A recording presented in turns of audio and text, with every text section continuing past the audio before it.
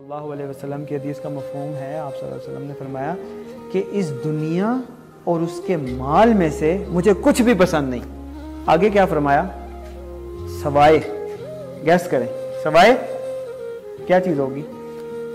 दुनिया में से अल्लाह अल्लाह के नबी वसल्लम को क्या चीज़ पसंद होगी? सवाए? लड़कियों के, औरत के और खुशबू के। अल्लाह ताला ने मर्दों को इजाज़त दी है कि जो औरत लड़की तुम्हें पसंद है उससे निकाह करो पसंद के मुख्तलिफ मैटर्स होते हैं इस्लाम में सिर्फ लव मैरिज है सिर्फ पसंद की शादी है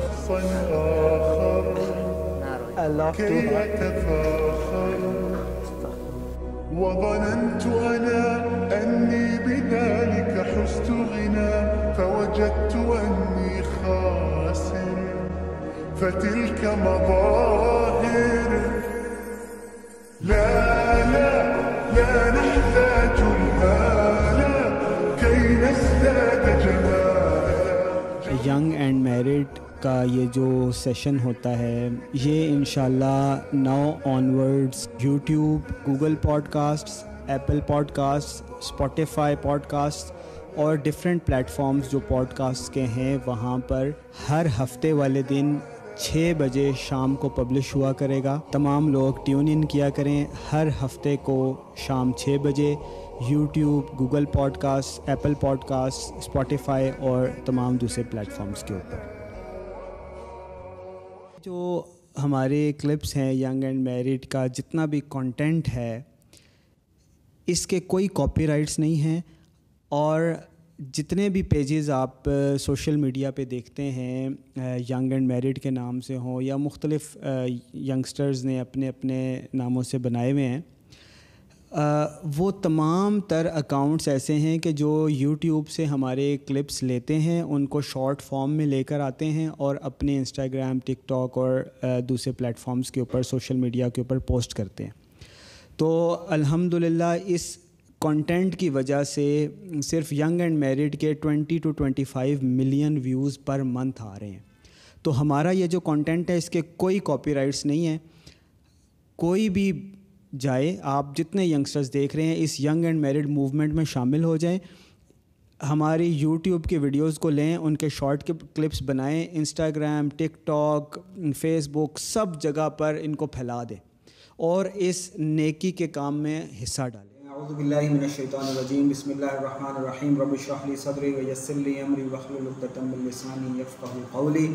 अल्लाहुम्मा अरिनल हक़्क़ हक़्क़न वरज़ुक़ना इत्तिबाअह व अरिनल बातिला बातिलन वरज़ुक़ना इज्तिनाबा रब्बना आतिना फ़िद दुनिया हसनतन व फ़िल आखिरति हसनतन व क़िना अज़ाबन नार या हय्यु या क़य्यूम बिरहमतिका नस्तगीस।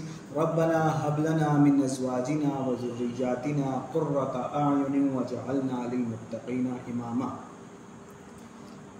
आज हमें किसी ने कंप्लेन किया है कि भाई आप तो हर वक्त शादी की बात करते हैं। और निकाह को आम करने और आसान करने की बात करते हैं मल्टीपल मैरिजेस की भी बात करते हैं तद निकाह की भी बात करते हैं लेकिन आपके दाएँ में जितने लोग हैं सारे ही कमा रहे हैं आपके अलावा। तो ये क्या चक्कर है? चराग तले अंधेरा क्यों है? तो इसी खुशी में आज हम तसीफ़ को भी काम नहीं करने देंगे तसीफ़ भी सामने बैठ के हमारा सेशन ज्वाइन करेंगे। अच्छा दो बातें पहले सुन लें सारे लोग। दो वाक़ात बल्कि मैं आपको सुनाता हूँ रसूल सल्लल्लाहु अलैहि वसल्लम के दौर से। आप सबने भी सुने होंगे, लेकिन एक दफ़ा फिर सुन एक दफ़ा ऐसे हुआ कि हज़रत आयशा सिद्दीक़ा रज़ी अल्लाह तहा एक काफ़िले में पीछे रह गई। और फिर जैसे होता था, पिछले ज़माने में काफ़िले जब चलते थे तो आगे जाने वाले भी लोग होते थे जो रास्ता बताते थे। ख़तरा वगैरह बताते थे आगे जाके भी रास्ता क्लियर करते थे। और कुछ पीछे चलने वाले भी होते थे कि कोई पीछे तो नहीं रह गया आ, किसी का कोई सामान तो नहीं गिर गया कोई मसला मसाइल तो नहीं हो गया। तो यही मामला हुआ हज़रत आयशा को फिर जिन सहाबी का ज़िम्मा था पीछे से क्लियर करने का काफ़िले को पीछे से फॉलो करने का वो हज़रत आयशा को ले आए। बड़ी इज़्ज़त और उनकी हरमत पाकिजगी के साथ। लेकिन मुनाफिकीन ने और कमज़ोर ईमान वाले कुछ लोगों ने हज़रत आयशा, यानी मुनाफिकीन ने हज़रत आयशा के ऊपर इल्ज़ाम लगा दिया और कुछ कमज़ोर ईमान वाले लोग भी, वो इस तरह का इल्ज़ाम लगाया, ऐसा ज़ोरदार बोतान लगाया कि वो कुछ कच्चे और कमज़ोर ईमान वाले लोग भी कुछ बातों में आकर अफवाहों को फैलाने में कुछ हिस्सा उनका भी डल गया। तो अब, उसके बाद जो मामला हुआ ना, वो आपको समझाना है कि उसके बाद क्या मामला। दूसरा मामला एक और सहाबी का है, उनका नाम था हज़रत हिलाल रज़ी अल्लाह ताला बिलाल नहीं, हिलाल रज़ी अल्लाह वो आए रसूलुल्लाह सल्लल्लाहु अलैहि वसल्लम के पास और उनसे कहने लगे, या रसूलुल्लाह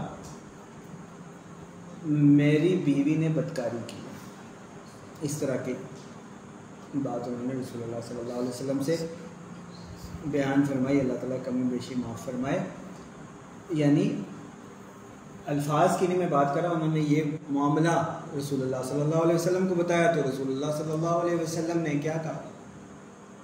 वही जो अल्लाह ताला ने बताया हुआ है कि गवाह लेकर आओ। तो वो बड़े परेशान हुए और कहने लगे कि एक बंदा अपनी बीवी को कोई ऐसी बदकारी करते हुए देखे तो वो गवाह ढूँढने चला जाए गवाह तो मैं नहीं ला सकता, मैं खुद गवाह तो इन दोनों मामले, ये जो दोनों मामला आते हैं, इनके बारे में अल्लाह ताला ने सूरह नूर की शुरू के आयात में एक्सप्लेनेशन बताई। हज़रत आयशा रज़ी अल्लाह तहा की पाकिजगी वो भी अल्लाह ताला ने सूरह नूर की शुरू की आयात में बताई। अल्लाह ताला की तरफ़ से वही की फॉर्म में गवाही आ गई कि हज़रत आयशा सद्दीक़ा रज़ी अल्लाह तहा बिल्कुल पाकबाज हैं। उनसे कोई ऐसी गलती नहीं हुई। और दूसरी बात, जो हज़रत हिलाल रज़ी अल्लाह तहो वाला मामला था, वो भी अल्लाह ताला ने सूरह नूर में बड़े अच्छे तरीके से बता दिया। तो ये मैटर मैं चाह रहा था कि ज़रा हम कुरान की रोशनी में और तफसीर की रोशनी में समझ लें। तो सूरह नूर में अल्लाह ताला सबसे पहली बात ये कहता है बादीम के बसमीम सूरतन अनजलनाहा व फ़रजनाहा व अनजलना फ़ीहा आयातिम बैनातिल्लकुम तवक्करून इस इस सूरत के शुरू में अल्लाह ताला ने कहा, ये सूरत हमने नाजिल नहीं की सिर्फ़। वह फ़र्ज़ ना इसको हमने फ़र्ज़ भी किया है, कोई और सूरत ऐसे नहीं स्टार्ट हो रही की इसके अंदर जो चीज़ें हमने हमने फ़र्ज़ कर दी हैं, लाजिम कर दी हैं इम्प्लीमेंट कर दी हैं, तुमने इनके ऊपर लाजमी अमल करना है, ये तुम्हारे ऊपर फ़र्ज़ है। और इसके अंदर अल्लाह ताला ने आयात खोल खोल कर बयान किए ताकि तुम अल्लाह ताला की की याद में रहो और अल्लाह इनसे सबक हासिल करो। पहली बात अल्लाह ताला ने क्या फरमाई? पहली आयत बता दिया कि ये फ़र्ज़ है। दूसरी आयत अजानियात वजानी फजलिदू कुल्ला वाहिद मिनहुमा मिआता जलदा। के जो जानी औरत हो, जिना जिस औरत ने किया हो, या जिना जिस मर्द ने किया हो, फजलिदू कुल्ला वाहिद मिन हुमा हर एक को, जिना करने वाली औरत को भी और जिना करने वाले मर्द को भी मी आता जलदा। सौ सौ कोड़े मारने सौ सौ कोड़े मारने हैं, ये बात हो रही है। ऐसी जानी, ऐसी औरत, ऐसा मर्द जो शादीशुदा नहीं है, जो कमारे हैं, उनकी बात हो रही है। उनको क्या होगा? सौ सौ कोड़े मारे जाएँगे। और सौ कोड़े जो मारने का जहाँ सज़ा के तौर पर मारे जाते हैं, वो ऐसे कोड़े नहीं होते कि किसी को जूती से मार दिया, डंडे से मार दिया। वो एक कोड़ा भी इंसान खा ले तो लग पता जाता है। तो वो सौ कोड़े मारे जाएँगे। और अगली बात सुने। वला तुम बिहिमा रफ़तुन फ़िद्दीन इन कुन तुम तो मिनूना बिल्लाहि वल यौमिल आखिर।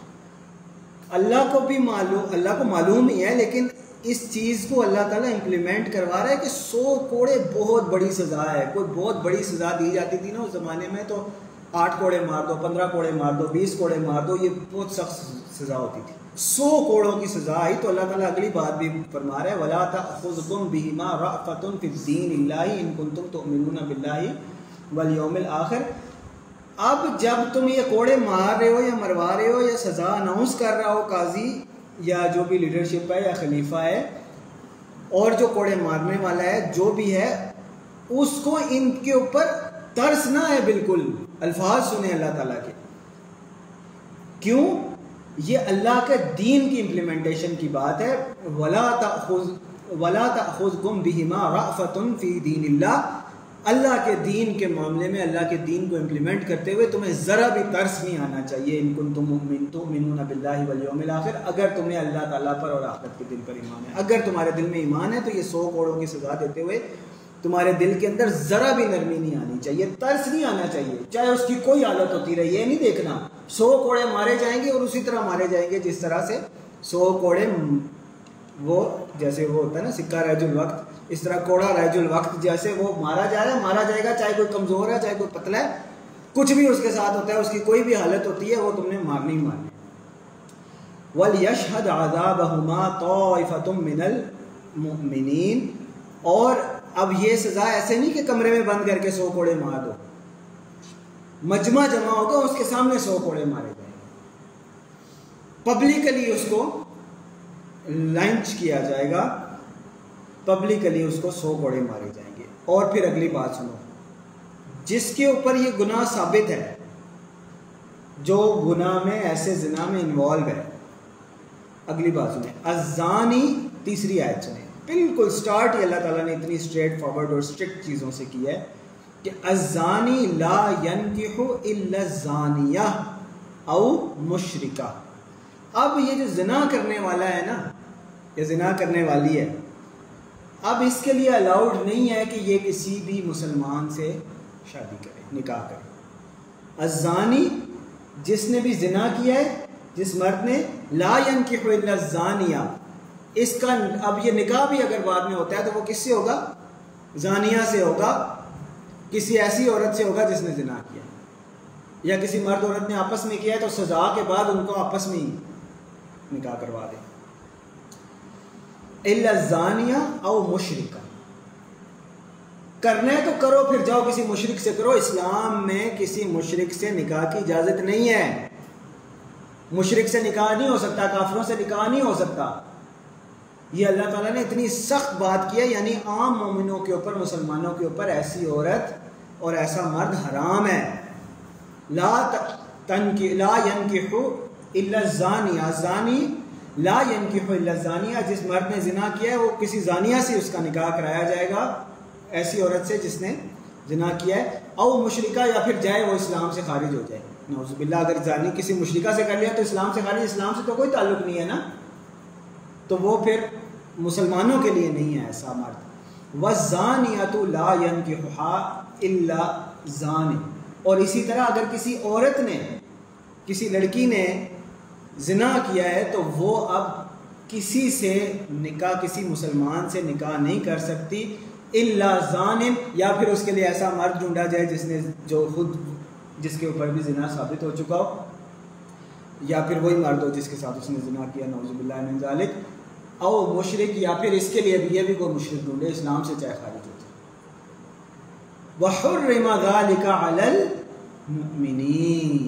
ऐसा मर्द और ऐसी औरत अल्लाह ताला ने हराम कर दी मोमिनों के सौ कोड़े भी मारे जाएँगे और उसके बाद तमाम मोमिनों के ऊपर ऐसा मर्द और ऐसी औरत हराम हो गई। ठीक होगी? ये बात तो आपने सुन ली। ऐसी औरत या मर्द जिन्होंने जिना किया, उनकी सज़ा क्या होगी? अब अगली बात सुने।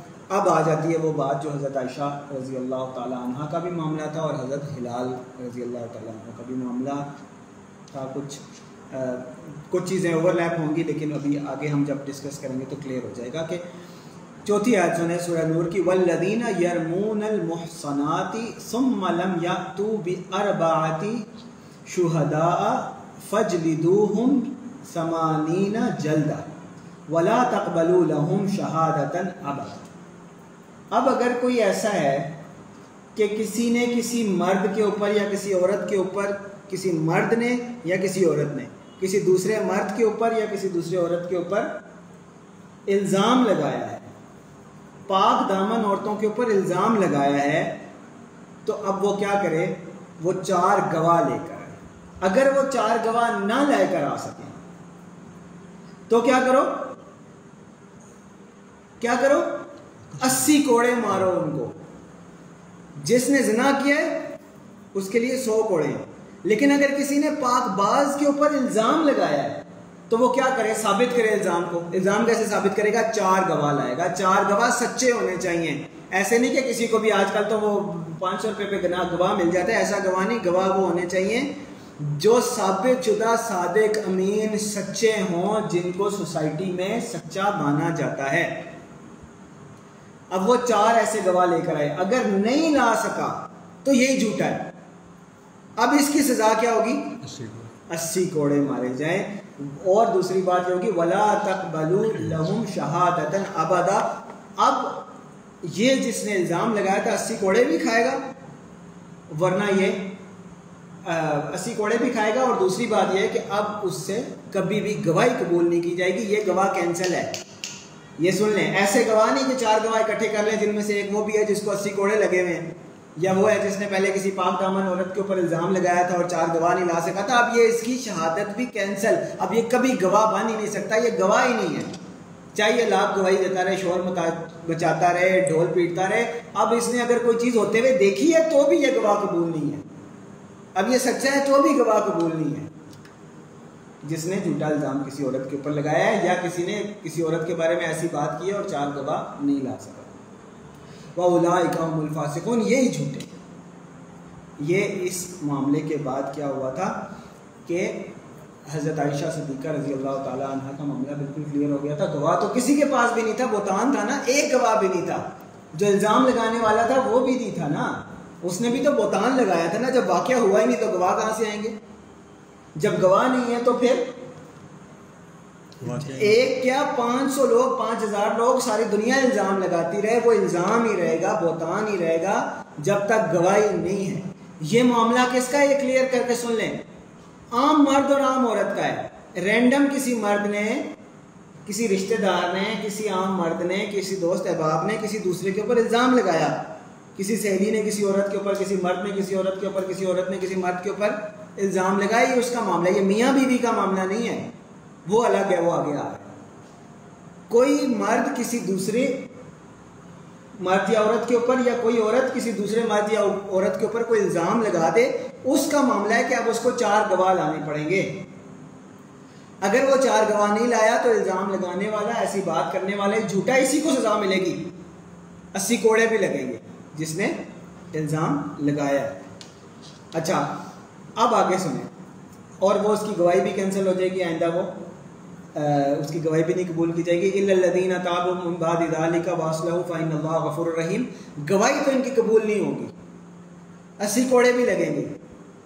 अल्लाह ताला ने इनको फासिक भी करार दे दिया झूठा भी करार दे दिया। लेकिन साथ में अल्लाह ताला ने इतनी बात कर दी इल्लदीन ताबा वासलफ़ाइन गफुर रहीम।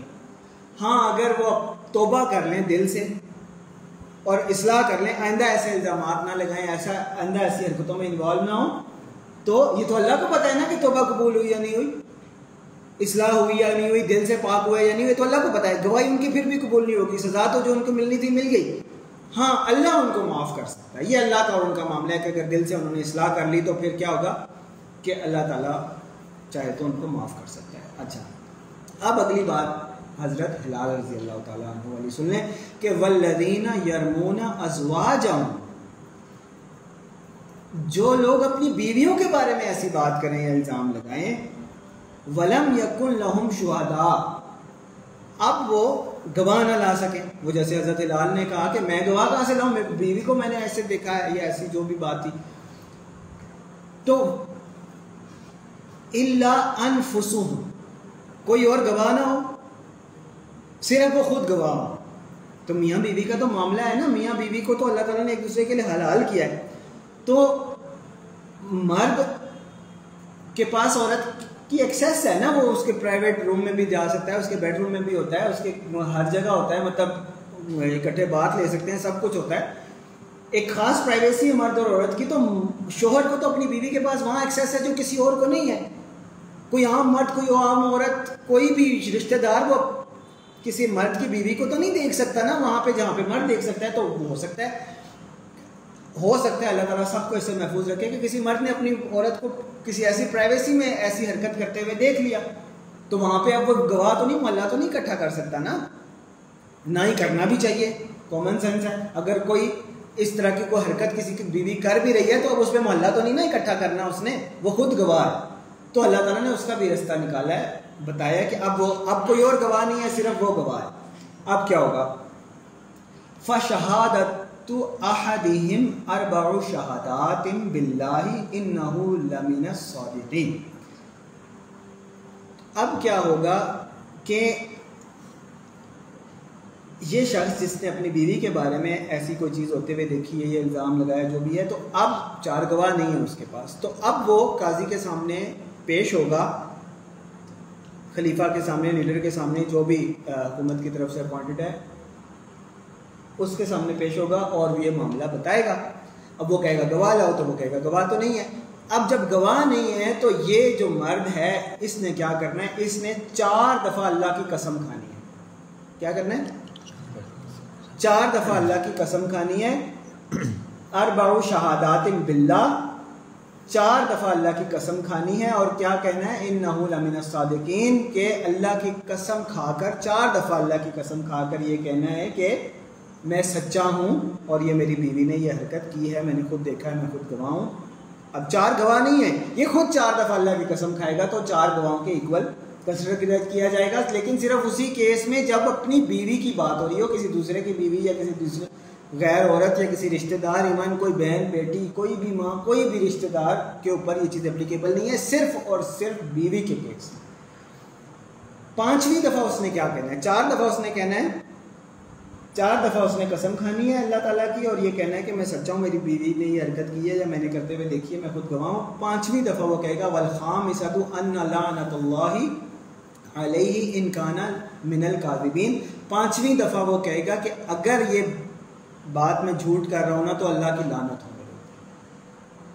मेरे चार दफ़ा वो ये कसम खाएगा कि मैं सच्चा हूँ और ये बात कर रहा हूँ, और पांचवी दफ़ा ये कहेगा कि अगर मैं झूठा हूँ तो मेरे ऊपर अल्लाह की लानत हो। नाउजुबिल्लाजालिक अल्लाह ताला ऐसी सिचुएशन में किसी को ना लेकर जाए। अच्छा अब ये हज़रत हिलाल रज़ी अल्लाह तु ने फिर जब ये आयात उतरी तो फिर उन्होंने ऐसे ही किया।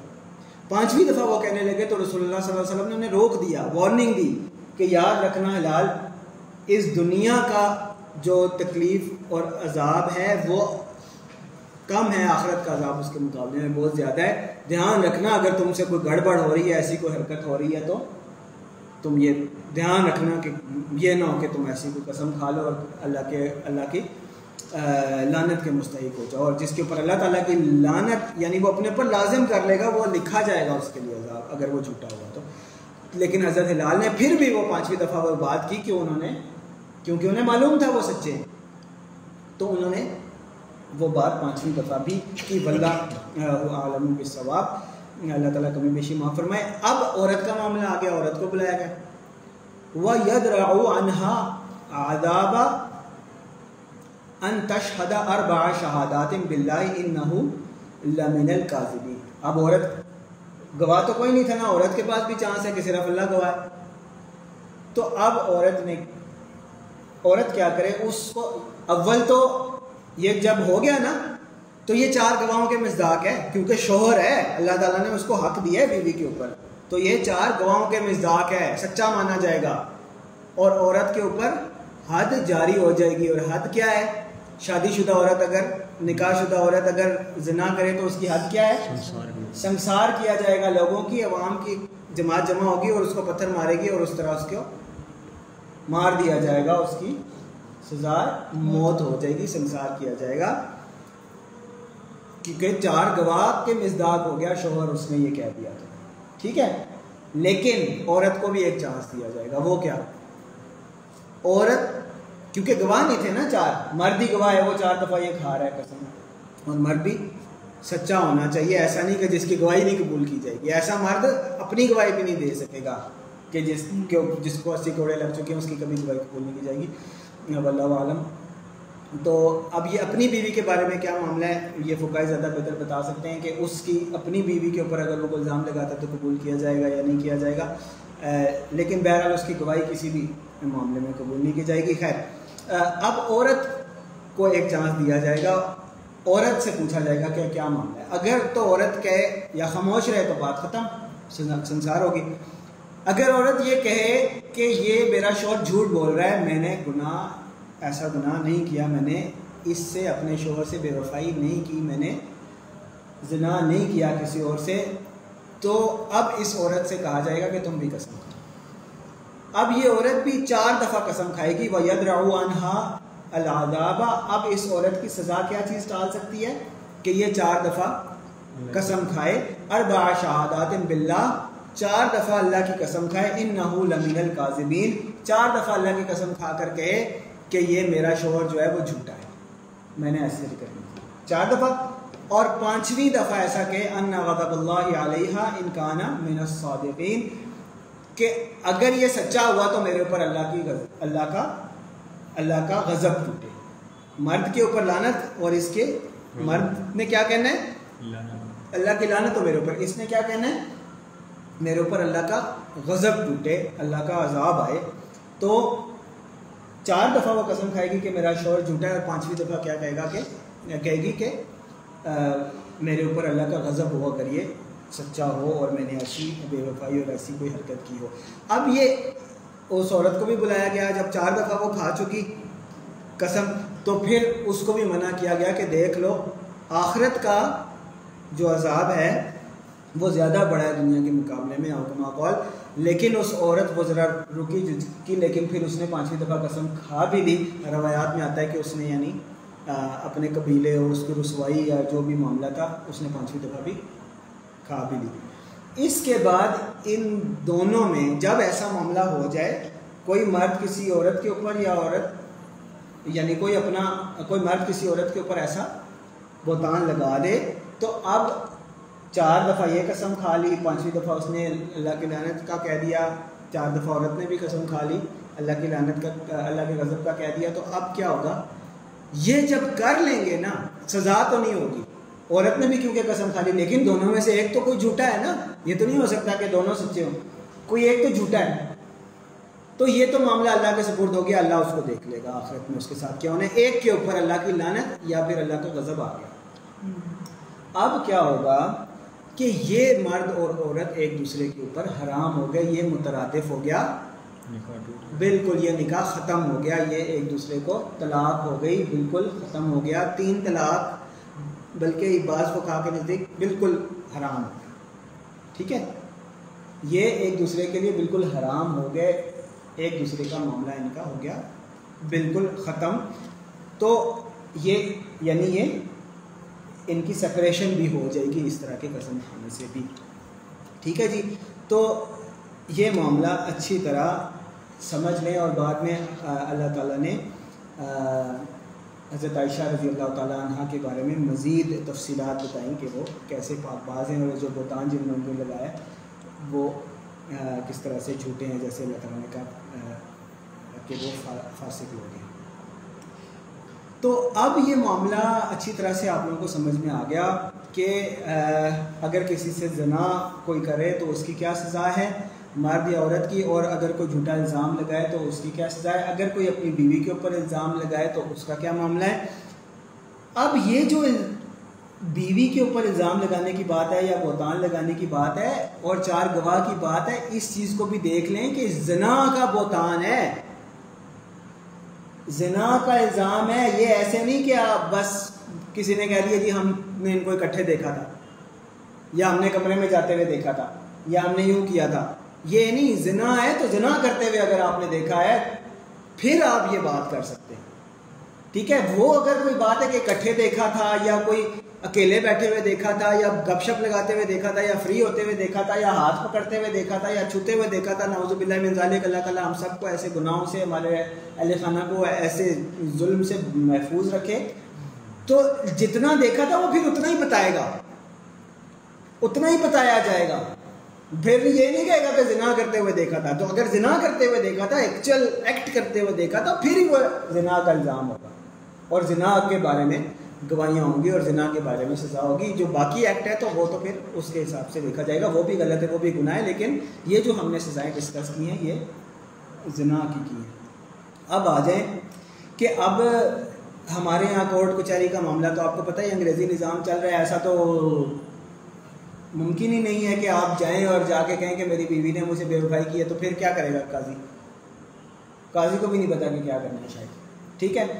तो अब इस मामले को अच्छी तरह से समझ लें कि जिस मर्द ने अपनी बीवी को ऐसे देखा है, ये मेरा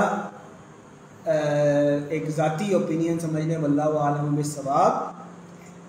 हज़रत उमर रज़ी अल्लाह तु तीन दफ़ा जो इकट्ठे तलाक दे देता था, उसको कोड़े लगवाते थे। लेकिन अब क्योंकि काजी और वो वाला मामला नहीं है, अगर काजी होता तो वो चार दफ़ा अल्लाह की कसम खाता तो बीवी उसके लिए हमेशा के लिए हराम हो जाती और बीवी के लिए वो मर्द हमेशा के लिए हराम हो जाता है। जब काजी नहीं है मौजूद और हमारे यहाँ वो शरय सिस्टम नहीं है तो ऐसा मर्द क्या करे? ऐसे मर्द को चाहिए कि वो अपनी बीवी को, अगर वो अल्लाह के हाँ बिल्कुल सच्चा है, वो जानता है, अल्लाह को हाजिर नाजिर रख के वो अपनी बीवी को इकट्ठी तीन तलाकें दी।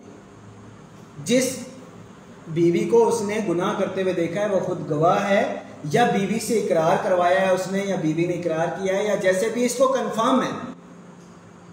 तो अब ऐसे जो खुद अगर वो गवाह है, ठीक है, या बीवी ने खुद चार दफ़ा इकरार किया है, एक दफ़ा की नहीं बात कर करा चार दफ़ा इकरार किया है, या ये खुद गवाह है, इसने देखा है, या कोई भी ऐसा मामला है तो ऐसे केस में अगर उसको पता है कि अगर काजी मौजूद होता तो वो चार दफ़ा कसम खा सकता था कि अल्लाह की कसम में सच्चा हूँ और पांचवी दफ़ा कहता कि अगर मैं झूठा हूँ तो फिर इतना वो अगर शोर है तो फिर उसको चाहिए कि अपनी बीवी को इकट्ठी तीन तलाकें दे उस औरत को अपने ऊपर हराम कर ले उसके साथ सेपरेशन कर ले। और अगर वो ऐसा नहीं करता तो मेरी अदना राय के में वो दुयूस है, दुयूस जैसे आप सल्लल्लाहु अलैहि वसल्लम ने फरमाया कि जन्नत में दुयूस नहीं जा सकता। दुयूस कौन होता है? वो बेगैरत शख्स जो अपने अहल खाना में बेहयाई और बेशर्मी होने देता है। और इस मामले को बिल्कुल क्लियर कर लें, बिल्कुल क्लियर कर लें, बिल्कुल क्लियर कर लें। एक इंटरनेशनल स्कॉलर हैं, वो इसके फेवर में बोल रहे थे कि अगर किसी से हो गया है या कुछ हो गया है तो मौका दें फ़िलहाल भाई, ये बेगैरती है।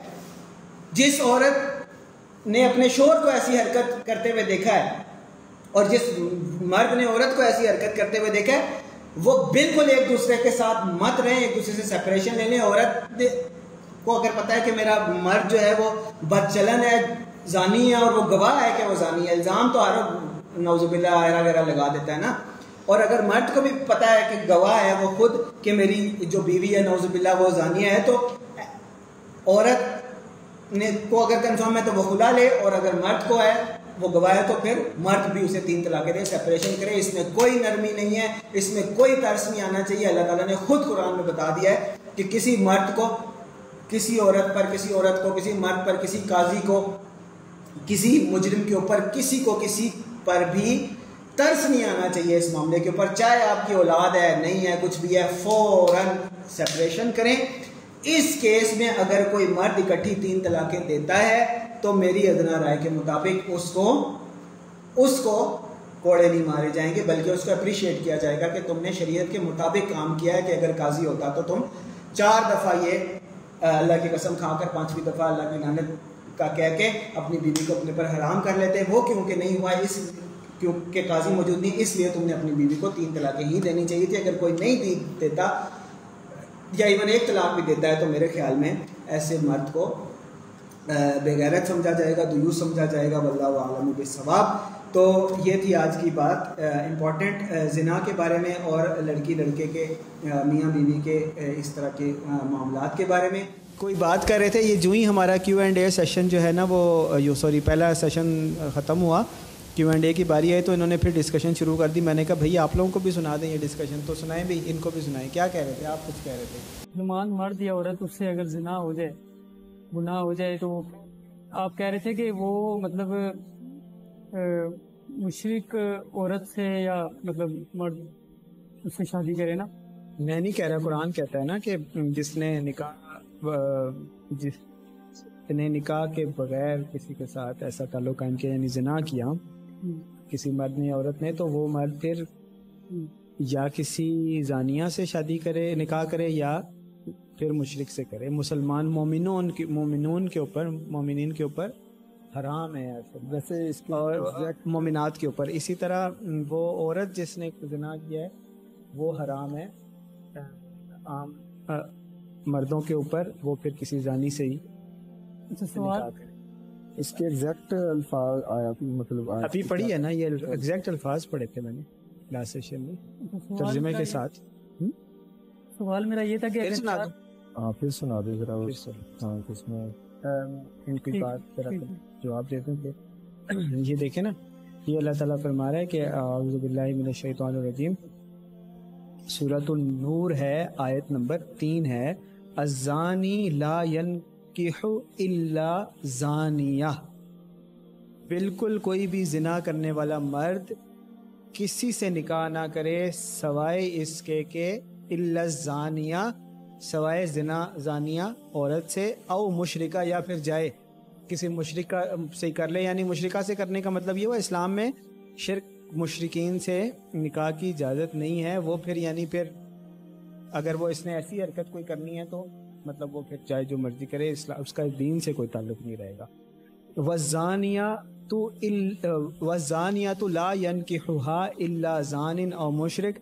इसी तरह जो जानिया औरत है, वो किसी जानी से निकाह करे या फिर जाए जो मर्ज़ी करे। यानी और मुशरक से मुराद यह है कि फिर मुशरक से कर लिया तो वो तो इस्लाम फिर जिना ही किया ना?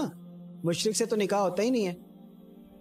अलल मुमिनीन मोमिनीन के ऊपर ईमान वालों के ऊपर ये जो जिना करने वाला मर्द या जिना करने वाली औरत है ये हराम जी। अच्छा वैसे भी मेरे दो सवाल हैं आप मैं दोनों सवाल आपसे कर देता हूँ आप फिर दोनों का जवाब दे देंगे बताइए। एक ये कि पहला अगर कोई शख्स किसी ए, मतलब देखता है किसी को जिना करते हुए वो खुद वहाँ मौजूद है मतलब चार गवाह ज़रूरी है ना तो वो मतलब खुद मौजूद है वो कोई है नहीं उस जगह पे ऐसी जगह है ना?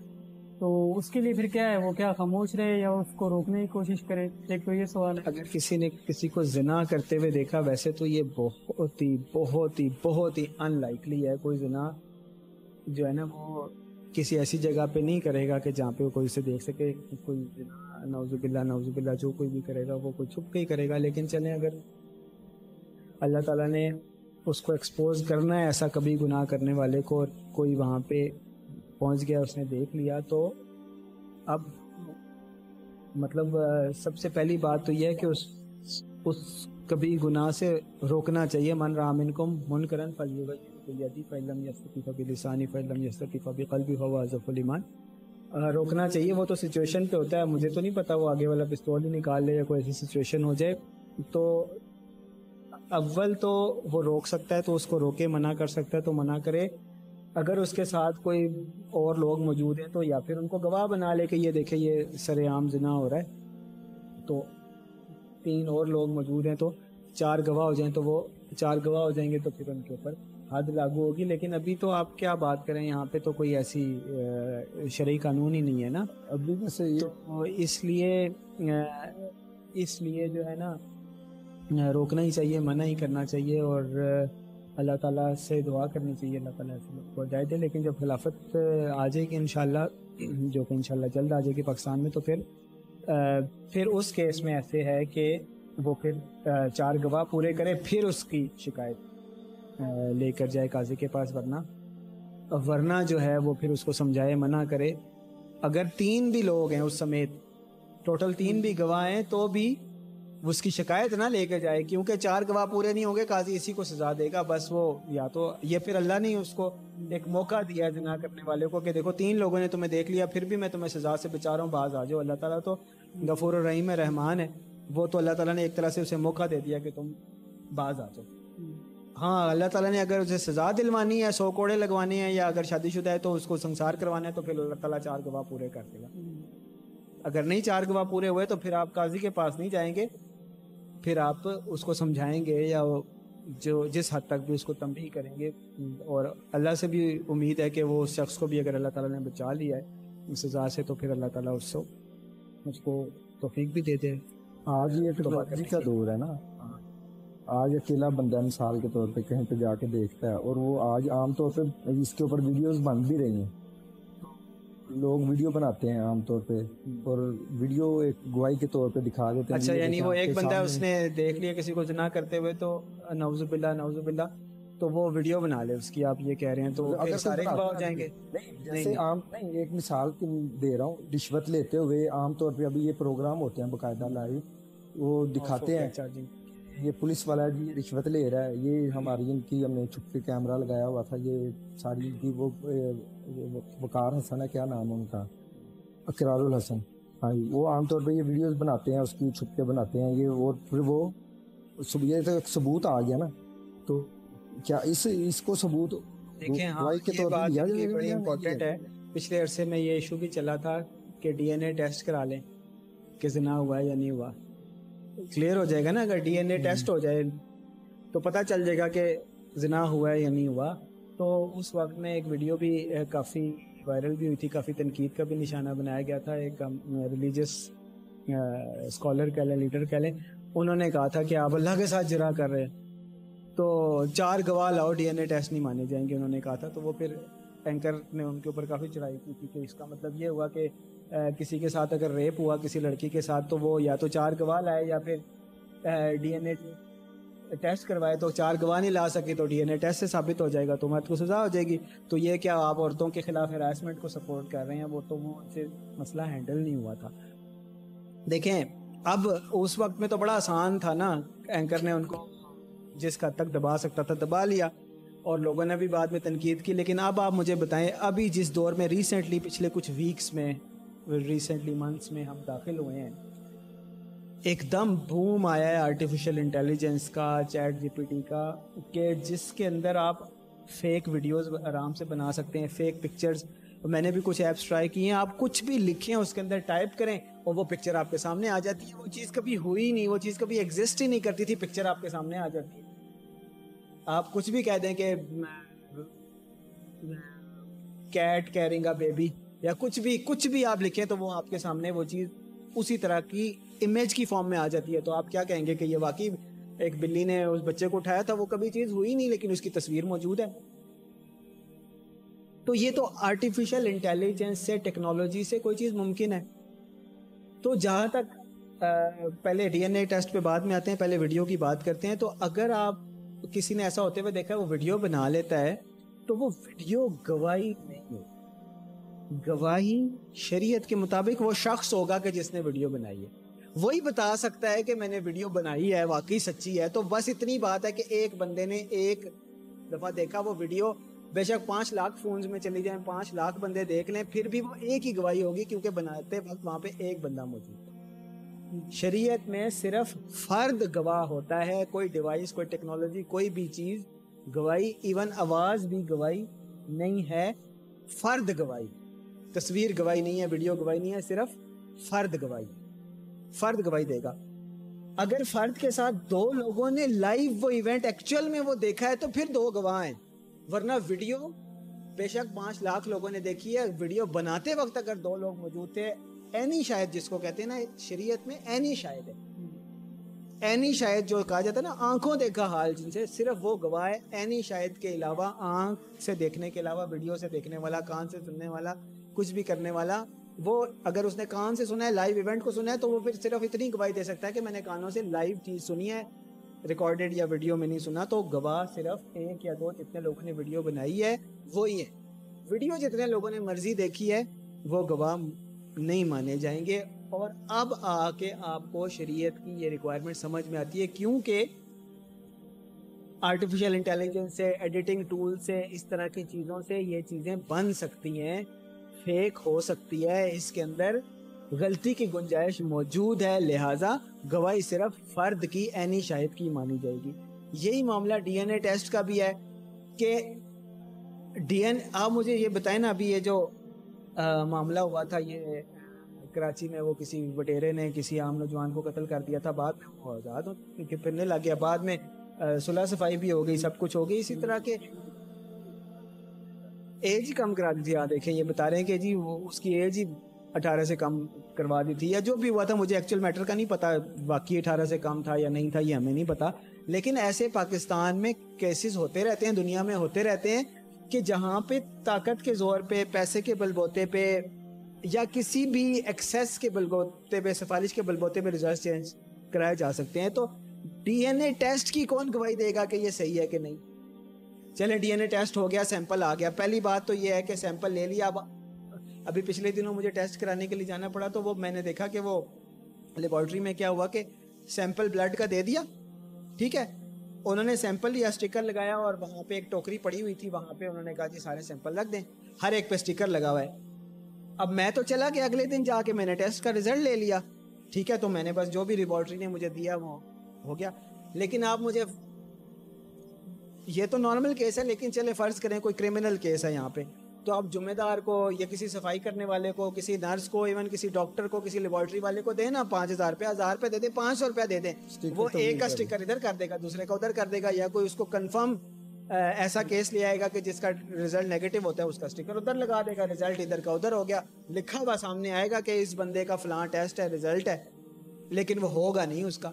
इसी तरह डीएनए टेस्ट में भी कौन गवाही देगा कि लेबोरेटरी वालों ने कंफर्म वही ठीक किया है? फिर उस पर भी आपको गवाही चाहिए होगी कि वो गवाही फिर डीएनए टेस्ट की होगी। डॉक्टर की या उसकी जी मैंने खुद सैंपल लिया, यहाँ से यहाँ तक पहुँचाया, यहाँ पे मैंने खुद अपने हाथ से टेस्ट किया तो वो डीएनए टेस्ट का गवाह होगा, जिना का गवाह वो फिर भी नहीं होगा। तो इसलिए शरीयत ने जो चीज़ें क्रिएट की हैं, जो उसूल बनाए हैं, उनके अंदर बड़ी ही हमत पोशीदा है, और वो क्यामत तक के लिए वैलिड है, चाहे टेक्नोलॉजी चाहे तरक्की जो कुछ भी हो जाए, वो चीज़ क्यामत तक के लिए वैलिड है। सिर्फ़ शरीयत में एनी शायद जो है वही कंसिडर किया जाएगा। और जहाँ तक बात आ गई वीडियो बनाने वाले की, अगर तो देखें वहाँ पे सिर्फ़ वो गवाह है और उसने वीडियो बना ली तो उसने वही काम किया जो बोतान लगाने वाले ने किया। उसको अब वो वीडियो जिस जिसको भेजेगा भी बात भी पहुंचेगी। पाँच लाख लोग गवाह हो जाए, पाँच हज़ार, पाँच करोड़ गवाह हो जाए उस वीडियो के थ्रू इसको कोड़े मारे जाएँगे। अस्सी कोड़े मारे जाएँगे उस बंदे के जिसने वीडियो बनाई। क्योंकि चार गवाह मौजूद नहीं थे, फिर भी उसने बोतान लगाया और बोतान की बात को फैला दिया। अब वो बोतान कंसिडर होगा क्योंकि चार गवाह मौजूद नहीं वीडियो को फेक कंसिडर किया जाएगा। जब तक चार गवाह नहीं, किसी लेबोरेटरी टेस्ट फॉरेंसिक की टेस्ट नहीं होगा। फॉरेंसिक वालों की क्या गवाही है कि उन्होंने पैसे लेके रिज़ल्ट नहीं दिया या किसी प्रेशर में आके नहीं दिया या किसी बटेरे ने धमकी दी थी कि तुम्हारे बच्चों को उठा लेंगे, इसलिए रिज़ल्ट चेंज नहीं किया? ये तो बहुत कॉम्प्लेक्स हो जाएगा मैटर तो शरीयत में सिर्फ़ सीधी बात नो बकवास। चार गवाह है नहीं शायद मौजूद है तो ठीक है वरना वीडियो बनाने वाले को भी कोड़े लगाओ। अभी वैसे वरना यही कंसिडर किया जाएगा कि इसने फेक बनवाई है इल्ज़ाम लगवाया हाँ हाँ, वही ना ये रेप उसको कैसे इंसाफ मिलेगा? हाँ। उनको मारे ना जरा थाने में। चार्ज ये तो भाई ये तो मुर्दे ज़िंदा कर देते पंजाब पुलिस वाले। थाने में उनको जो है ना वो क्या कहते हैं मुलजिम थाने में लेके जाएँ प्रेशर टैक्टिक्स इंटेलिजेंस टैक्टिक्स इस्तेमाल करें। वो खुद चार दफ़ा मानेगा मैंने किया है। चार दफ़ा उसने मान लिया वो चार गवाह हो गए। काजी के सामने आप कह रहे हैं ना गवाह चाहिए ना गवाह चाहिए कि वो चार दफ़ा खुद इकरार कर ले फिर भी हो गया ना।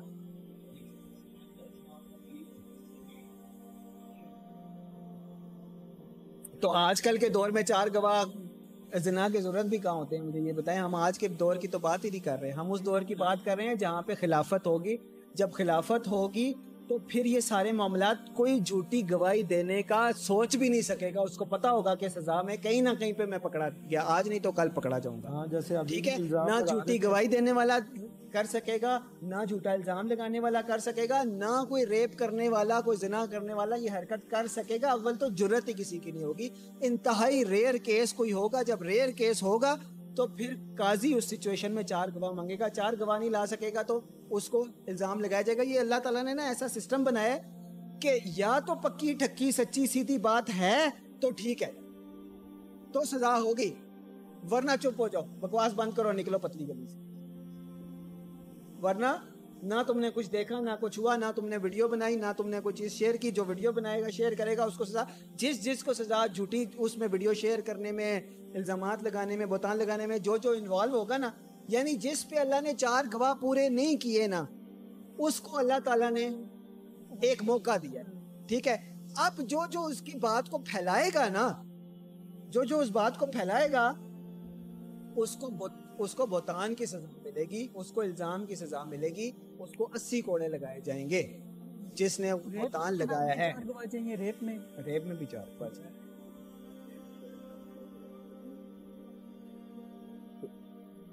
तो फिर भी चार गवाह उसे फ़िज़िकल एन ही शायद लाने पड़ेंगे। अगर नहीं लाया तो अस्सी कोड़े खाए।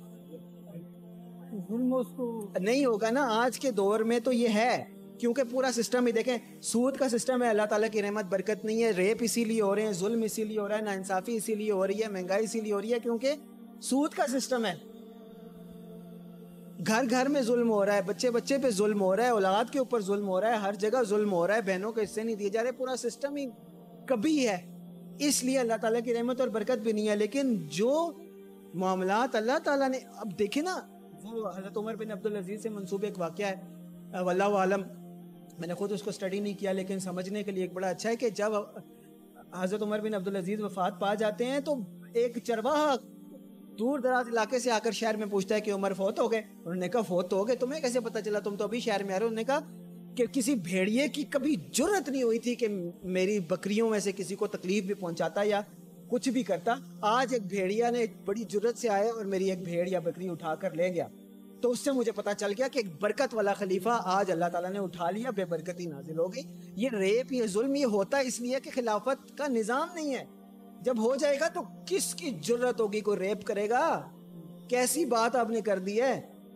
किसी की ज़रूरत ही नहीं होगी। और अगर कोई कर लेगा नौजुबिल्ला तो अल्लाह ताला चार गवाह भी देगा उस मौके के ऊपर। और फिर देखे वो रेप करने वाले का हाल क्या होता है।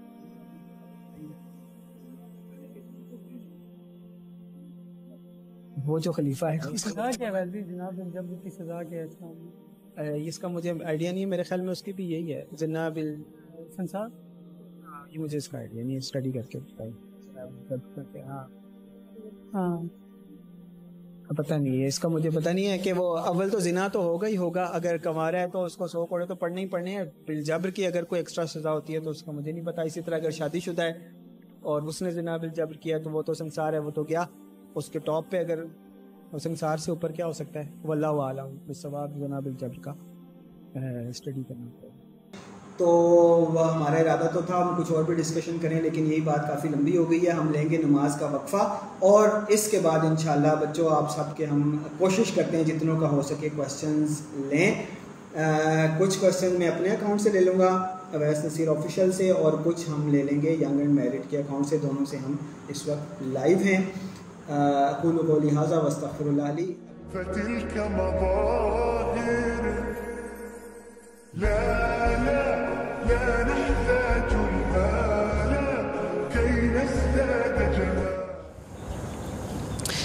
ये अब्दुल हसीब कह रहे हैं कि बहुत मुश्किल हुई मुझे बिज़नेस से निकाल दिया घर से निकाल दिया सब कुछ किया शादी नहीं करने दे रहे थे लेकिन आ, मैं अल्लाह ताला से माँगता रहा और इस्तफ़ार करता रहा बहुत ज़्यादा।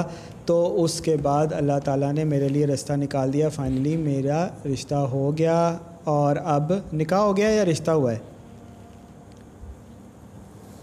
ओ भाई, निकाह कर लो, पक्का करो काम। ये मैंने ऐसे बहुत केसेस देखे हैं। रिश्ता हो गया और फिर शादी से पहले पहले काम ख़राब हो गया। बात डन नहीं होती, कुछ भी। निकाह कर लो यार, जो आपकी चीज़ है, उसको अपना बना लो। हाँ। अच्छा। हाँ चले अल्लाह अल्लाह ताला आसानी करे तो अभी अभी कर, अभी करा लें हाँ। निकाह अब भी कर लें, कोई नहीं मसला। चलें, आप नेक्स्ट सेशन में आएँगे ना, फिर आपको बाकी बातें पक्के कराएँगे तो इन अब्दुल्ला इनको बुलाएँ जी नेक्स्ट सेशन में, और आप लोगों में से बाकी लोग भी जो लाइव देख रहे हैं, जो पिंडी इस्लामाबाद से या नियर बाई एरियाज़ से हैं, वाकेंट, गुजर खान, मरी और क्या बनता है जी करीब करीब के पीछे पी भी थोड़ा थोड़ा जो करीब लगता है। अगर आप लोग फ़िज़िकली यहाँ पे आना चाहते हैं तो अब्दुल्ला से रबता करें और बड़ा ही अच्छा होगा कि अगर कोई ऐसे केसेस आएँ कि लड़की का वली भी साथ हो और लड़का भी माना हुआ हो और ऑन स्पॉट निकाह हो तो कितना ही मज़ा आएगा। खिज़र निकाह नामे वगैरह इकट्ठे कर लेना उम्मीद तो है। तो बाकी किसी को रिश्ता विश्ता चाहिए तो रिश्ते भी हमारे पास फ़िलहाल नहीं नेक्स्ट टाइम देखेंगे। ठीक है जी अब्दुल हसीब बहुत शुक्रिया। मैं नेक्स्ट भी अटेंड करता हूँ। जजाकल्ला अल्लाह ताला आसानी फरमाए आपके लिए। आप दोनों ने पता है क्या करना है आज शाम को? आप दोनों ने ना शाम को आज शाम कर लें, कल कर लें, जब भी, इकट्ठे आप दोनों ने एट अ टाइम एक तो कोशिश ये करनी है कि आप दोनों ने ज़रा बातचीत थोड़ी कम करनी है क्योंकि ना महरम है। तो बाकी जो चैट वगैरह पे आपकी बात होती है, उसमें आप ऐसे करें कि दोनों ने ये काम करना है कि यूट्यूब पे जाना है, वहाँ पे सर्च करना है लव पिरामिड और आगे लिख देंगे Awais Naseer love pyramid by Awais Naseer P Y R A M I D तो एक वीडियो आ जाएगी। हम, मेरा एक फुल लेक्चर आ जाएगा। वो आप दोनों ने पूरा सुनना है और फिर जो उसके अंदर बताया हुआ है ना, वो सारा करना है। तो फिर इन अल्लाह खैर करेगा। आप दोनों को अगर बात समझ आ गई तो अल्लाह ताला कोई सूरत बना देगा इन ठीक है? घबराओ नहीं भाई, सलमान घबराओ नहीं। हाँ हिम्मत करो। अगर तुम्हें प्यार है तो फिर, खड़े रहो, डटे रहो। ठीक है जी, ये सलमान तक पहुँचाएँ भाई। अब्दुल्ला, सलमान को टैग करें। जी, ये आप आईडी भेजें सलमान को। ये अब्दुल्ला क्लिप शॉर्ट क्लिप बना के भी ना उसको टैग भी करेंगे। भाई, घबराना नहीं है, प्यार करते हो तो डरना कैसा? तो डटे रहो इन अल्लाह ताला को सूरत बनाएगा। अगर वाकई प्यार करते हो तो झूठा वूटा प्यार है तो भाई जान छोड़ दो इसकी अभी से, जो सही बात है। ठीक है? अब सही है? कृति अच्छा जी, ये कृति बात कर रही हैं और ये कह रही हैं कि मैं हिंदू हूँ, बाईस साल मेरी एज है, जिस लड़के को को ये पसंद करती हैं, वो मुसलमान है, उसकी एज ट्वेंटी फाइव है। इनके घर वालों को कोई मसला नहीं है, वो कह रहे हैं कि जी ठीक है, बेशक लड़का मुसलमान है, तब भी हम शादी करवा सकते हैं, लेकिन लड़का डर रहा है निकाह करने से और लड़के के घर वाले नहीं मान रहे। तो पहली बात तो ये सुन लें, कृति के मुसलमान और हिंदू का निकाह नहीं हो सकता, शादी नहीं हो सकती। अगर कोई मुसलमान किसी हिंदू से निकाह या शादी करेगा तो वो शादी होगी ही नहीं, वो गुनाह ही रहेगा, ज़िना ही रहेगा, वो ऐसे ही होगा कि जैसे उसने शादी की नहीं, बग़ैर शादी के किसी के साथ नजायज़ ताल्लुक़ रखा हुआ है, वो वही रहेगा। ठीक है? अब जो बात आपने दूसरी की है कि आपने रोज़े रखे, नमाज़ें पढ़ी, सब कुछ किया, लेकिन उसके बाद भी आप ये कह रही हैं कि मैं हिंदू हूँ तो साथ में आप फिर पूजा पाठ भी कर रही होंगी। तो ये दो चीज़ें साथ साथ नहीं चल सकती। वो अच्छा ये कह रही हैं कि तीन साल से मैंने, तीन साल में ये मंदिर भी नहीं गई और कोई पूजा पाठ भी नहीं की, सब कुछ छोड़ दिया और रोज़े नमाज़ें भी इन्होंने कुछ रखी पहले।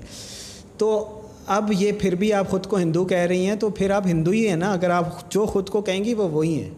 ठीक है? निकाह के मैटर से हट के पहले ये हिंदू पहले मेरी बात सुन लें। अब मेरी सुन लेना। फिर अगर को, कोई इसके अंदर हुआ तो फिर आपने बताना है मुझे। निकाह के मैटर से हट के आपका निकाह उस लड़के से होता है या नहीं होता? सोसाइटी एक्सेप्ट करती है या नहीं करती? क्योंकि इंडिया में हिंदू मुसलमान मिक्स्ड कल्चर है। अगर कोई लड़की मुसलमान होकर किसी मुसलमान लड़के से शादी कर लेती है तो सोसाइटी का बहुत ज़्यादा प्रेशर आता है और लड़का भी अगर किसी ऐसी लड़की से शादी कर लेता है तो पूरी सोसाइटी का प्रेशर आता है।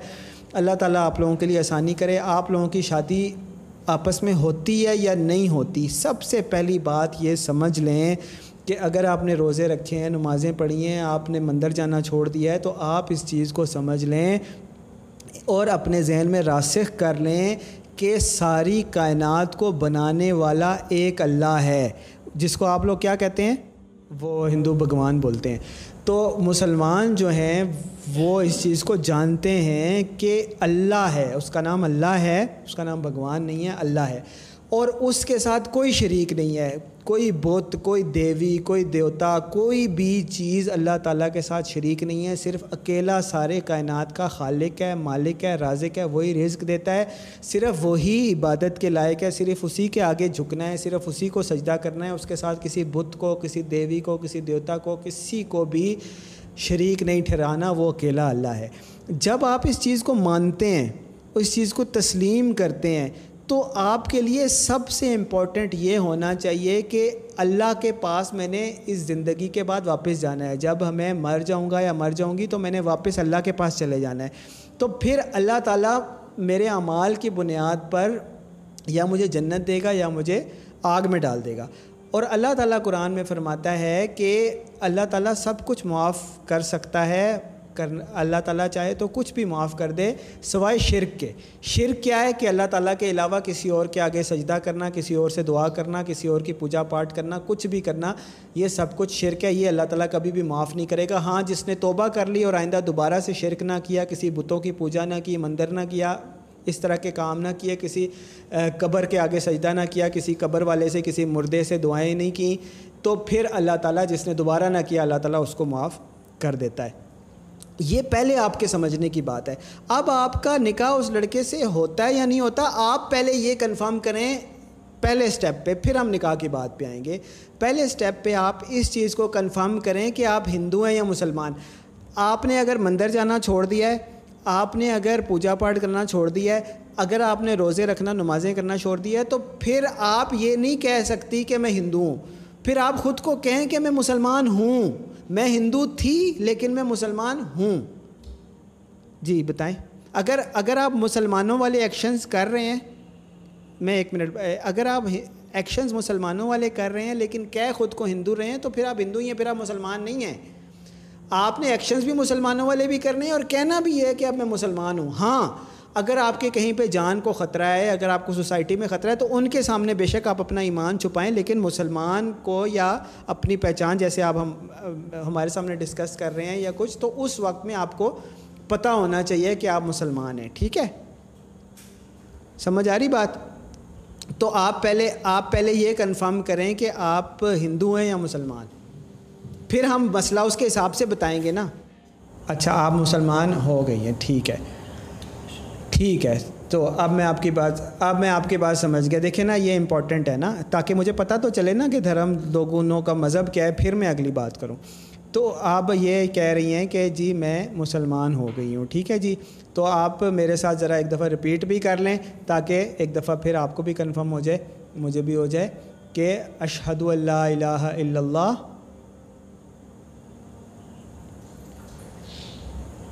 व अशहद अन्ना मोहम्मद रसूलुल्लाह मैं गवाही देती हूँ, मैं गवाह हूँ कि अल्लाह के अलावा किसी की इबादत जायज़ नहीं, अल्लाह के अलावा किसी की इबादत नहीं करूँगी।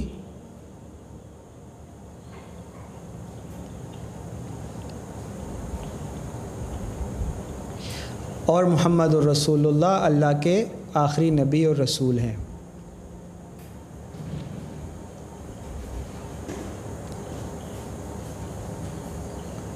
रसूल हैं सल्लल्लाहु अलैहि वसल्लम। तो आप बेशक अपनी सोसाइटी में अभी अपना नाम क्या बताया था? कृति ही रखें लेकिन वैसे आप अपने तौर पे जो आपके ख़ास ख़ास राजदार मुसलमान दोस्त वगैरह हैं उनको बेशक आप अपना नाम कोई मुसलमान नाम रख लें। वो रखा है आपने या नहीं रखा? तो आपका आपका नाम सुमैया रखते हैं। जी, ठीक है? आप, ये बेशक आप अपनी फैमिली को किसी को बेशक छुपा सकती हैं, क्योंकि वहाँ पे सख्ती है, ठीक है?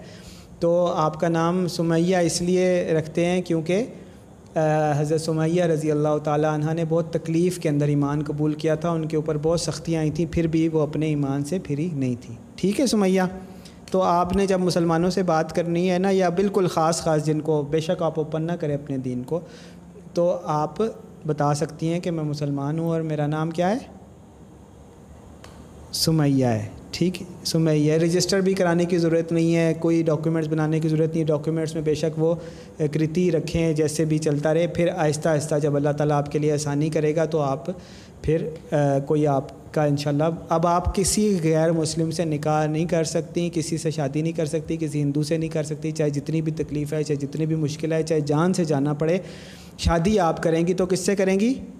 सिर्फ़ और सिर्फ़ मुसलमान से ही करेंगी। ठीक है जी अब आते हैं उस लड़के के ऊपर। कि थोड़ा सा हिम्मत करो, ये बच्ची मुसलमान हो गई है और ये मुसलमान है। चाहे तुम्हें मुश्किल हो या आसानी हो, तुम भी प्यार करते हो और ये भी तुमसे प्यार करती है तो अब तुम दोनों एक दूसरे से निकाह कर लो, चाहे घर वाले माने या ना माने। तो आप दोनों इन कॉल पर आएँ, अगर प्राइवेट में भी मौका मिला इस लाइव सेशन के अलावा भी तो फिर भी हम इंशाल्लाह पूरी कोशिश करेंगे। ये अब्दुल्ला आपसे मेरी कॉल पे बात करवा देगा इंशाल्लाह तो फिर हम दोनों को समझाएँगे, ठीक है? खाएँगे क्या रहेंगे क्या? ये फिर ये तो देखें ना हाँ ये तो खिलाने वाला तो अल्लाह है ये तो हम बहुत सारे ऐसों को जानते हैं। जी। सुमैया कह रही हैं कि मैं पहले नॉन मुस्लिम थी फिर मैं मुसलमान हो गई और मैंने इस चीज़ को एक्सेप्ट किया और देख लिया है अपने एक्सपीरियंस से कि अल्लाह नामुमकिन को भी मुमकिन कर देता है। मेरी ऐसी ऐसी दुआएँ अल्लाह ताला ने कबूल की हैं। तो तुम मुसलमान पैदा होकर क्यों इस चीज़ को नहीं मान रहे कि जब हम शादी कर लेंगे तो सोसाइटी हमें अगर सपोर्ट नहीं करेगी तो फिर हम खाएँगे कहाँ से पिएँगे कहाँ से? तुम अल्लाह पे तवक्ल क्यों नहीं कर रहे? तो इसके लिए आपने करना ये है कि आपने उस लड़के को भी कॉल पे लेकर आना है। इंशाल्लाह उसको भी समझाएँगे। अल्लाह ताला से पूरी उम्मीद है कि अल्लाह ताला आपके लिए कोई सूरत बना देगा। ठीक है? ठीक है, अब ये आपका, आपने फ़िक्र नहीं करनी है आपकी कॉल प्रायोरिटी पे अटेंड होगी। इस सेशन के बाद भी आपकी कॉल अब्दुल्ला अटेंड कर लेंगे, आपको जवाब देंगे। ठीक है ना? अभी हम आपको ड्रॉप करते हैं ताकि हम और लोगों को कॉल पे ले सकें, लेकिन आपने ना इसी पे मैसेज कर देना है अभी। तो अब्दुल्ला फिर आपको इस सेशन के बाद इन फिर जवाब भी ले लेंगे और फिर जो भी मसला होगा ये आपसे डिस्कस भी कर लेंगे। फिर इन वो जो लड़का है उससे भी हम इन बात कर लेंगे। ठीक है बेटा? ठीक है जी, बादशाह, अल्लाह ताला आपको दीन के ऊपर, हक़ के ऊपर इस्तकामत अता फ़रमाए और अब हम आपको सुमैया के नाम से ही जानेंगे। अस्सलाम वालेकुम अल्हम्दुलिल्लाह जी सुमैया का नाम भी रखा गया इस सेशन में और सुमैया ने कलमा भी एक दफ़ा दोबारा पढ़ के कंफर्म कर दिया कि मैं मुसलमान हो चुकी हूँ। अल्लाह ताला सुमैया को इस्तकामत अता फ़रमाए दीन के ऊपर, हक़ के ऊपर। और वो जो लड़का है जो इसको पसंद है अल्लाह ताला उसे भी हिम्मत दे कि भाई तुम क्या बेवकूफ़ बन रहे हो। आ, फेस करो और अल्लाह ताला कोई भी अल्लाह ताला आसानी करेगा तुम्हारे लिए रास्ते निकालेगा इन ठीक है जी? जी आप आए ना नेक्स्ट के ऊपर। जी, अल्लाह ताला आसान फरमाए। लेकिन ये लेट ना करें। अगर वो लड़का भी राज़ी है, आपको भी पता है कोई मसला नहीं है तो लड़के से कहें कि बस निकाह का पैगाम लेके आ जाए आपके घर में, बात ख़त्म करें। ये जितनी देर आप लोग कांटेक्ट में बात कर रहे हैं ना, वो सारा फिर गुनाह में जा रहा है। अगर आप वो निकाह का पैगाम नहीं लेकर आ रहा, वो लड़का फ़ौर से पहले निकाह का पैगाम लेकर आए और आप फिर कन्विंस करें, एक दफ़ा वो निकाह का पैगाम लेकर आ जाएगा ना तो फिर भी कोई जवाब बनता है। आप लोगों का चलें, जब तक वो एक्सेप्ट होता, अगर आपकी कोई बातचीत हो रही है, कोई चैट हो रही है शर्य दायरे के अंदर रह के तो फिर भी, लेकिन अभी तो ना निकाह का पैगाम वो लेकर आया है। और ये भी याद रखें कि अगर वो नई निकाह का पैगाम लेकर आया और आपके घर में कोई और रिश्ता लेकर आ गया तो वो नहीं लेके आ सकेगा। चाहे आप, वो तो ठीक है, लेकिन देखें ना, अगर वो लड़का निकाह का पैगाम नहीं लेकर आया, कोई और आ गया, और आप लोगों ने अभी आंसर नहीं किया, डिक्लाइन नहीं किया तो जब तक आप लोगों ने डिक्लाइन नहीं किया, तब तक उसके लिए मना है कि वो रिश्ता लेकर आ सके तो लॉक लग जाता है ऐसे। तो अगर ये निकाह का पैगाम लेकर आ जाता है तो फिर बाकी सब लड़कों के लिए लॉक लग गया, आप कोई और नहीं लेके आ जा, आ सकता। जब तक आप लोगों की तरफ़ से हाँ या ना हो जाए तो इसको चाहिए कि फ़ौर निकाह का पैगाम लेकर आ जाए। एग्ज़ाम चलते रहेंगे, वो काका थोड़ा ही आपकी किताबें थोड़ी पानी में डाल देगा।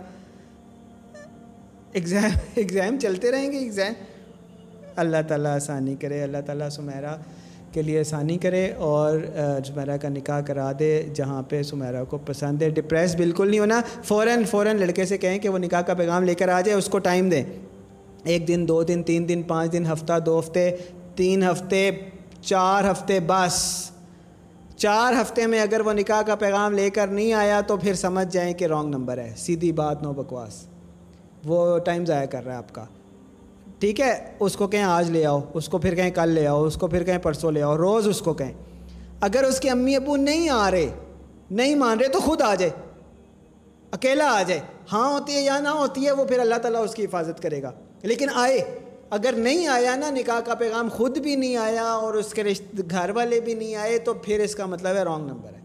फिर उससे जान छुड़ाएँ फ़ौर ब्लॉक करें, अल्लाह ताला आपके लिए कुछ बेहतर सूरत बनाएगा, ठीक है? ठीक है जी, अल्लाह ताला आसानी पर मैं वालेकुम। देखें, आपकी बात तो मैं समझ गया हूँ, लेकिन ये पर्सपेक्टिव आपने बातें सारी बताई हैं, लड़की की साइड की, लेकिन बता आप रहे हैं। तो ये दरमियान में कम्युनिकेशन गैप आ जाता है। ये सारी बातें अगर वो बच्ची ख़ुद बताए तो फिर ही बात समझ में आ सकती है। एक बात जो आपने की कि निकाह अगर ज़बरदस्ती हुआ है, मैं वहाँ गवाह नहीं था, आप वहाँ गवाह नहीं थे, आपको तो वो चार साल ये कह रहे हैं, उस लड़की का निकाह हो गया और इनको उससे रबता हुआ है। दो साल हुए पहली बात यह है कि वो किसी और के निकाह में थी तो आपका उससे रबता होना ही नहीं चाहिए था। उसको आपसे किसी भी गैर मर्द से रबता करना ही नहीं चाहिए था। ये बहुत बड़ा और कभी गुनाह है। अगर निकाह उसका ज़बरदस्ती हुआ था तो मैं भी गवाह नहीं था। आप आप भी वहाँ पे गवाह नहीं थे। हम में से कोई भी वहाँ पे गवाह नहीं था। अल्लाह ताला बेहतर जानता है निकाह ज़बरदस्ती हुआ या नहीं हुआ। अगर निकाह ज़बरदस्ती हुआ, अगर निकाह ज़बरदस्ती हुआ तो फिर ये काजी फ़ैसला करेगा, कोर्ट फ़ैसला करती है कि ये निकाह वैलिड है या इनवैलिड है तो हमारे पास ना अभी काजी है, ना कोर्ट है। तो बहरहाल अगर निकाह ज़बरदस्ती हुआ है तो भी पाकिस्तान में जो कानून मौजूद है, उसके तहत निकाह नामा तो फिल हुआ रजिस्टर तो हुआ होगा, सब कुछ हुआ।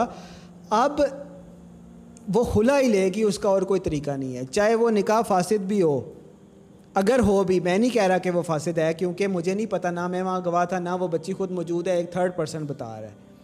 तो अगर फ़र्ज़ करें फासिद भी हुआ हो तो पाकिस्तान में फ़िलहाल जब तक खिलाफत नहीं आ जाती, तरीका यही है कि वो खुला फ़ाइल करेगी, खुला एक्सेप्ट होगी, फिर ही वो निकाह ख़त्म होगा। दूसरी बात ये जो आपने की है कि चार साल हो गए निकाह को, क्योंकि रुखसती नहीं हुई तो निकाह फासिद हो गया। ये कौन सी किताब में लिखा हुआ है? ये किससे सुन लिया आपने? भाई, सारी उम्र अगर मर्द नहीं है कहीं गया हुआ है कहीं लापता हो गया कि गुम हुआ है कुछ भी हुआ है तो निकाह ख़त्म करने का यही तरीका है या तो तलाक होगी या खुला होगी या लियान होगा वो जो अभी हमने थोड़ी देर पहले डिस्कस किया ये कोई तरीका नहीं है कि चार साल रुखसती नहीं हुई मर्द भी मौजूद है ज़िंदा है आपस में बात भी होती है लड़की भी मौजूद है ज़िंदा है आपस में बात भी होती है सब कुछ है और निकाह आपने कह दिया ऑटोमेटिकली ख़त्म हो गया। भाई ये तो किसी मज़हब में नहीं है वो सॉरी किसी वो आ, क्या कहते हैं वो स्कूल ऑफ़ थाट में नहीं है। ये बात बिल्कुल गलत है। निकाह हुआ हुआ है तो चार साल क्या, पचास साल भी रुखसती नहीं हुई तो वो निकाह ऑटोमेटिकली ख़त्म नहीं होता। ठीक होगी बात आपकी? तो इसका फ़ैसला काजी करता है। तो ये आप, अव्वल तो वो अगर किसी और के निकाह में आप दोनों की बात करना बनता ही नहीं है। अगर उसका निकाह ज़बरदस्ती हुआ है तो वो फिर बच्ची खुला जो है ना वो करेगी फ़ाइल करेगी, वहाँ से खुला होगी, निकाह ख़त्म होगा। जो भी मामला है, वो होगा। फिर जो भी, अब अल्लाह ताला बेहतर जानता है उनका आपस में क्या ताल्लुक़ है, नहीं है, क्या है इद्दत है, जो भी मामला है, वो सारे होंगे। फिर उसके बाद फ़ैसला होगा कि अब उसका निकाह किधर होना है। पहले तो वो निकाह जहाँ उसका हुआ है ना, उससे वो ले, फिर वो अगली बात होगी। और उस बच्ची को भी चाहिए कि ऐसे काम, ऐसे ना करे। अगर निकाह में है तो या तो वो निकाह ख़त्म करवाती, फिर किसी और से बात करती। वो निकाह में है और किसी गैर मर्द से बात कर रही है, ये बहुत गलत है। ठीक है जी? असलकुम अच्छा मैं आपकी बात समझ रहा हूँ। ये बच्ची कह रही है कि इसके ये पसंद करते हैं एक दूसरे को। तो वो लड़का जो है, उसके फादर मान गए मदर नहीं मानी। लेकिन आ, वो इसी से प्यार करता है ये भी उसी से करना चाहती है रो रही है कि मैं उसको नहीं छोड़ सकती इतना छोड़ना चाहती हूँ। लेकिन वो लड़का अभी तक रिश्ता नहीं लेकर आ पाया क्योंकि उसकी अम्मी नहीं मान रही वो उसकी अम्मी बच्चे को उसके सर की कसम देती हैं और कहती हैं कि मैं मर जाऊँगी और ये कहती हैं कि या उसको बच्ची को लड़की को चूज़ कर लो या मुझे चूज़ कर लो। आ, ये इनका क्वेश्चन है। तो बात यह है सबसे पहले तो कसम तो सिर्फ़ अल्लाह की खा सकते हैं अल्लाह के अलावा किसी की कसम नहीं खा सकते किसी के सर की कसम खाना किसी इंसान की कसम खाना किसी चीज़ की कसम खाना किसी मामले की कसम खाना ये शिरक है। आ, ये वो शिरक की हरकत उन्होंने की है उनको तोबा करनी चाहिए अल्लाह ताला से इस्तफ़ार करना चाहिए एक बात। दूसरी बात यह है कि अब्बा जी मान गए अम्मा नहीं मान गई ये क्या बात हुई? पहले लड़के का तो काम ही नहीं है अम्मी अब्बू को मनाना ठीक है उनको कह दे कि भाई मैं फ़लाँ लड़की से निकाह करने लगा हूँ तो निकाह कर ले।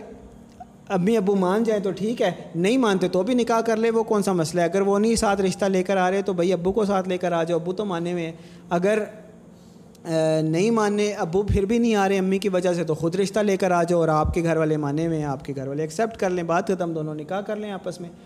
तो वो लड़के को हिम्मत पकड़नी चाहिए और ये काम अच्छे तरीके से करना चाहिए, बजाय इसके कि ये खाम खा, आपको भी परेशान किया, वह ख़ुद भी परेशान हो रहा है। तो लड़के का काम करता है, बनता है कि वो हिम्मत करे और निकाह के मामले में हम पहले भी कई दफ़ा बता चुके हैं, कोई बदुआ नहीं लगती। अम्मी चाहे मरने की ख़ुदकुशी की, ख़ुद को आग लगाने की धमकियाँ देती रहें, वो अल्लाह के ख़िलाफ़ जो भी धमकी दे रही हैं, जिसकी जान इतनी सस्ती है, वो अल्लाह जाने, वो जाने।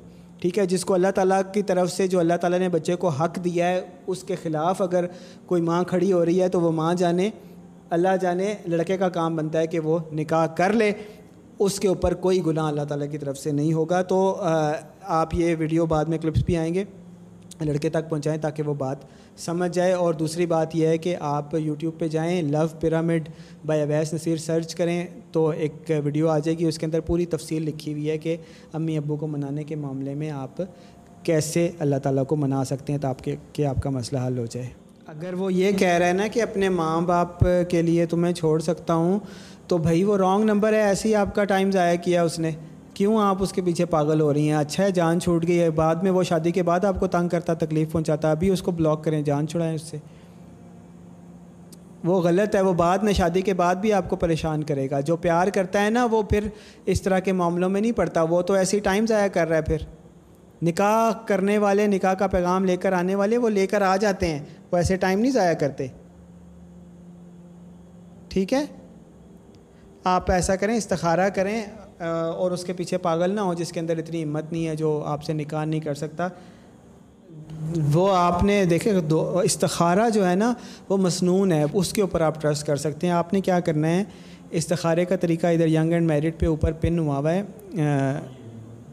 हाँ और वो पूरा इस्तखारे का तरीका उसमें बताया हुआ है। आपने ख़ुद इस्तखारा करना है, किसी से नहीं करवाना, और रात को सोने से पहले तीन कुल पढ़ने हैं। कुल्ला कुलाउज़ुबरबलफ़ला कुलाउज़ुबरबनास ये तीन सूरतें आपने पढ़नी हैं। और इस्तखारा भी डेली करते रहना है, फिर इन अल्लाह ताला कोई रास्ता बना देगा। जिस जो मर्द हिम्मत नहीं कर रहा पैगाम, निकाह का पैगाम लेकर आने के लिए, और आपको कह रहा है कि मैं तुम्हें छोड़ सकता हूँ तो फिर बेहतर है कि वो आपको अभी छोड़ दे, बजाय इसके कि शादी के बाद आपको परेशान करे। ठीक है इस्तारा कर लें कि उसको, उसके बारे में इन अगर वो इस तरह का बेवफा शख्स है तो इन वो आपके दिल से निकल जाएगा। अल्लाह ताला आसानियाँ फरमाए सब के लिए। आई थिंक आज के लिए काफ़ी है इन बहुत माजरत जिन लोगों की मैं कॉल्स नहीं ले सका इन नेक्स्ट सैटरडे फिर मुलाकात होगी। असल वरहमल वर्क यंग एंड मेरिड का ये जो सेशन होता है, ये in now onwards YouTube Google podcasts Apple podcast Spotify podcast और डिफरेंट प्लेटफॉर्म्स जो पॉडकास्ट के हैं, वहाँ पर हर हफ़्ते वाले दिन छः बजे शाम को पब्लिश हुआ करेगा। तमाम लोग ट्यून इन किया करें, हर हफ़्ते को शाम छः बजे YouTube Google podcast Apple podcast Spotify और तमाम दूसरे प्लेटफॉर्म्स के ऊपर।